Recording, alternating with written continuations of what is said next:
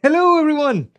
Today I have in my hands both version of the greenies, the Gibson greeny and I have the Epiphone greeny right here. So we are going to be comparing, talking about these guitars. The greeny ever since its release, it's the most talked about guitar. The current owner is also the most talked about, but we are focusing plainly on the guitars itself. So we're going to be comparing the specs, how they sound and how they feel most importantly. So we are taking each guitar as it is.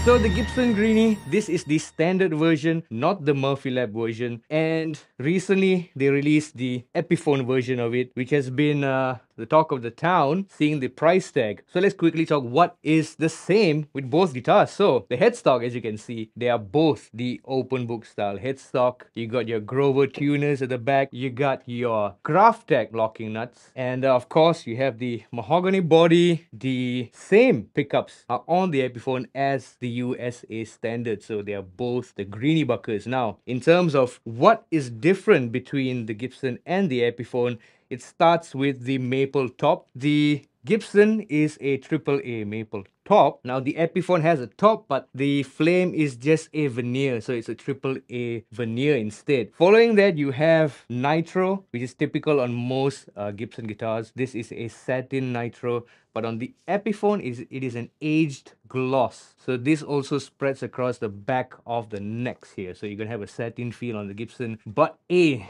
aged gloss feeling on the Epiphone. They're both, on the website, is stated as a 50s neck profile on the Greeny, but you have a Greeny profile on the Epiphone. In terms of feel, they are very, very similar. Maybe the Epiphone is a tad fatter it fills in the palm a little bit more, just a bit. It's not a huge difference.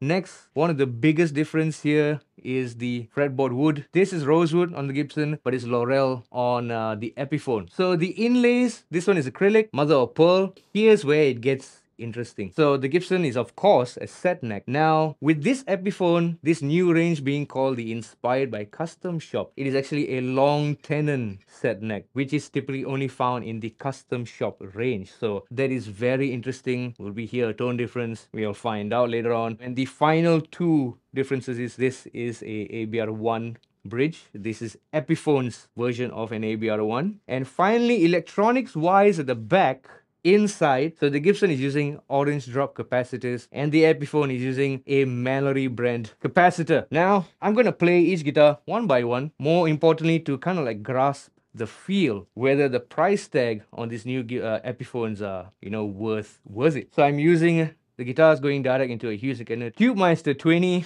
going into an orange 2 by vertical cabinet being mic'd up by a SE Electronics X1S and V7X. We're going to try these with the clean tone first and a distorted tone after that and there is a touch of reverb in the effects loop because reverb makes me happy.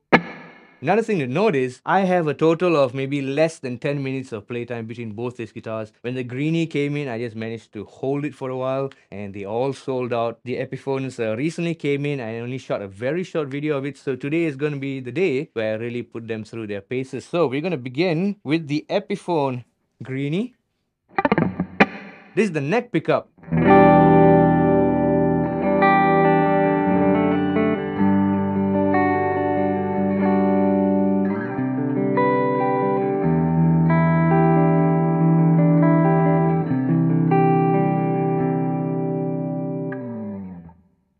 Now the middle pickup, which is gonna have the out of phase tone.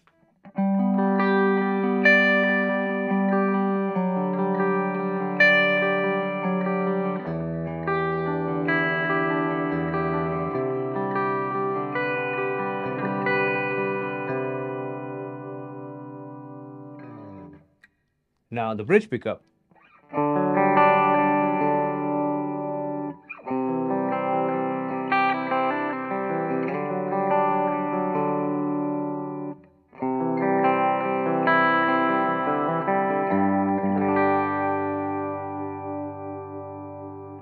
Now I'm going to go back to the middle and just roll off one of the volume knobs to kind of get a full sounding middle position. So.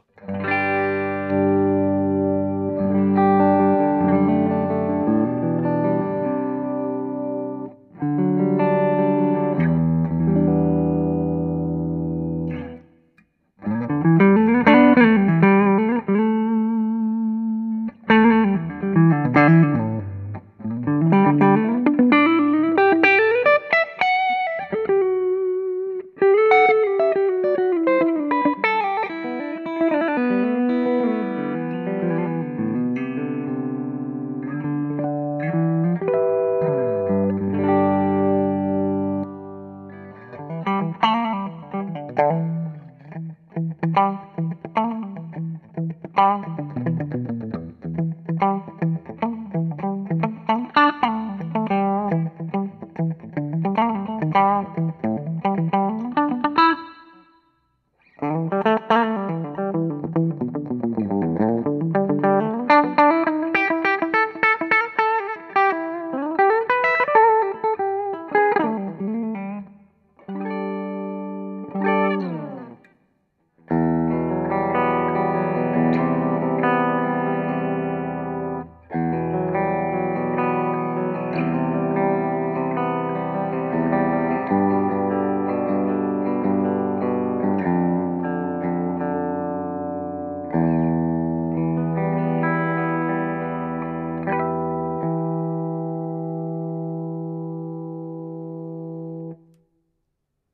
Now I'm going to swap over to the Gibson Greeny and hear how that sounds with the clean tone. So again, I'm going to begin with the uh, neck pickup and hear how that sounds.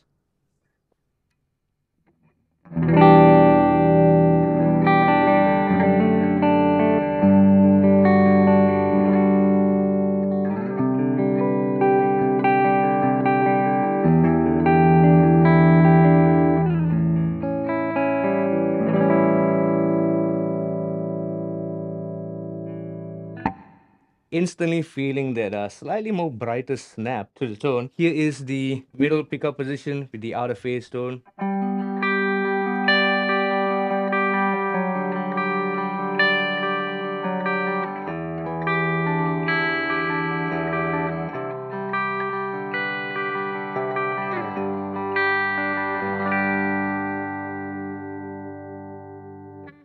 Bridge pickup,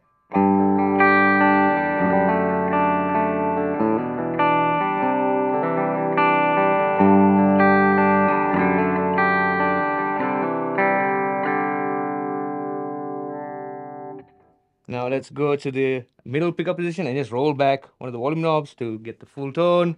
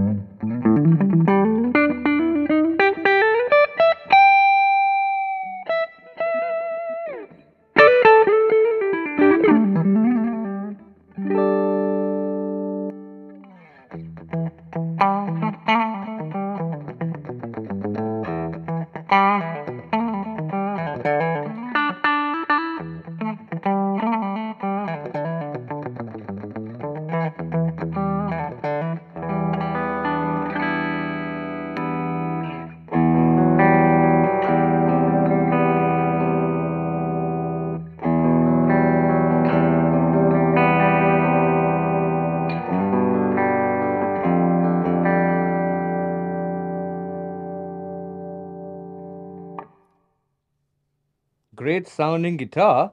I would say feel wise, in terms of the neck thickness, I'm not feeling much much of a difference. If anything, it's a very, very, very, very minor difference in terms of the nut width, fingerboard radius, they're all exactly the same. But I'm hearing a little more of a sort of clarity with the Gibson. And uh, now we're gonna go to a high gain tone. So I'm play some simple riffs right here. So this is the bridge pickup of the Epiphone. Thank you.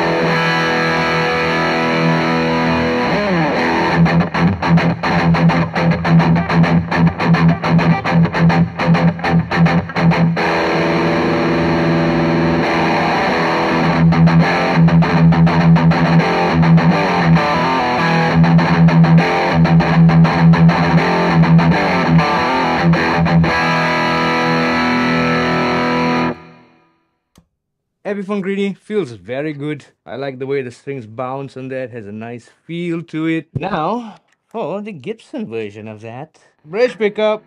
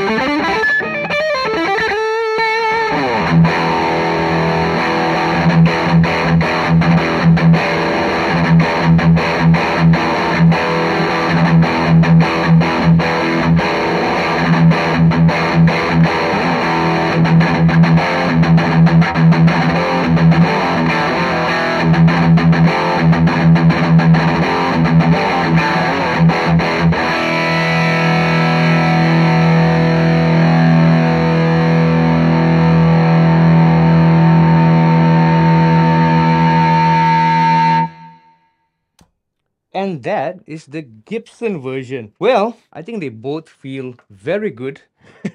I'm sure you're gonna ask if this being double the price is worth it, you know, whether the feel is worth double the price tag. Or you're gonna ask that um, why buy this when this is, you know, for some people, it's much more better to save money and get this. But I would say this, while both feel good, I still think that the Gibson has an upper hand in terms of the feel, in terms of the snap of the note and that certain brightness and presence. It's something I felt in the room. This one has that uh, typical Epiphone kind of uh, very roundish low end, if that translates well to anyone. And as for the price tag, while some people may find that this is steep, I think certain things like the long tenon neck joint could be contributing contributing factors to you know the build time in terms of complication or whatever that is. Also i feel that while people think that this is expensive this is still much more expensive. And for a lot of people this may be out of reach. And if you are a big fan of the greeny guitar and also to take note that most people forget that there are four different tones in these guitars. So it may be a three-way toggle switch right here. You think you're getting just three sounds but the out of phase position is only in effect when both of the volume knobs are turned up all the way so the moment you roll back one you're gonna get your regular in-between position so essentially you're kind of getting four tones in each of these Les Pauls so what do you think did you hear any difference in the YouTube video in compression do you think it's worth the price tag this new inspired by Gibson Custom Shop series uh, for Epiphone. Well, let us know what you think about the tones of Stevie Leave a comment down below. Give us a thumbs up if you enjoyed the video, subscribe for more content, and I will see you very soon.